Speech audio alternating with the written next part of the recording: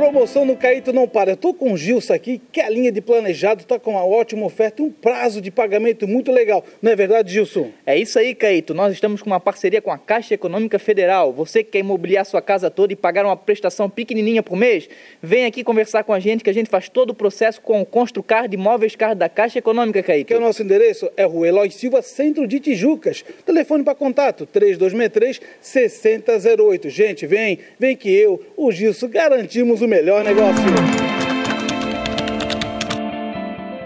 Uma empresa de Tijucas está sendo investigada pela Polícia Civil por prática de receptação de tecidos desviados de uma empresa de Criciúma, dona de uma grife conhecida nacionalmente. Nós recebemos uma denúncia aqui num determinado comércio aqui de Tijucas, estaria ocorrendo a venda de alguns produtos que teriam sido desviados da, dessa empresa que se localiza em Criciúma.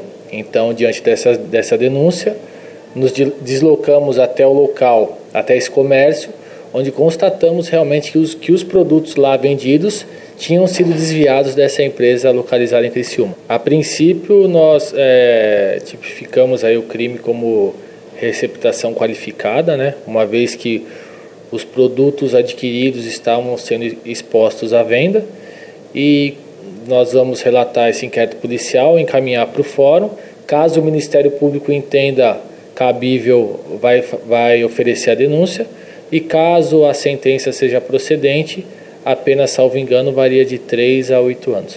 O delegado Pedro Henrique Mendes preferiu não divulgar os nomes das empresas envolvidas no escândalo para não atrapalhar as investigações. Agora, no, no presente momento, eu acho que não, não é interessante divulgar, porque pode atrapalhar as investigações, mas foi amplamente. É, a cidade, eu acho que sabe isso, por, por Tijuca ser uma cidade pequena, os, o, tudo, as notícias correm perante a população. Né? Então, eu não vou dar nome às partes envolvidas, mas a investigação está terminando já e provavelmente as pessoas que estavam vendendo esses produtos provavelmente serão indiciadas. Eu acredito que semana que vem a gente já termina essa investigação e aqui em Tijucas vai ficar restrito ao crime de receptação, né?